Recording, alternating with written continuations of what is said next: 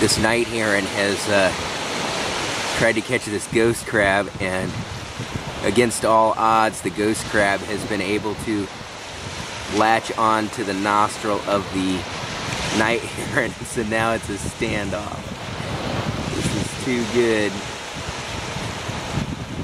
And uh, the night heron looks very embarrassed to be in this situation. Get a few more pictures here.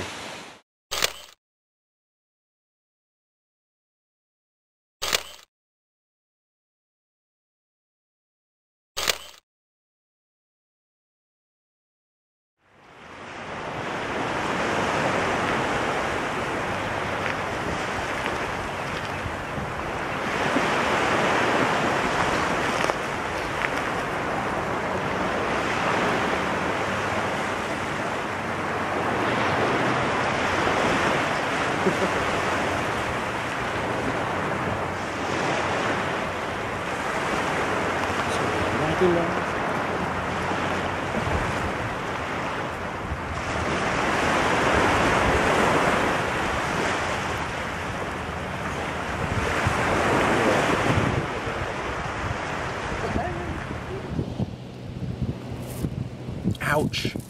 Wrong way.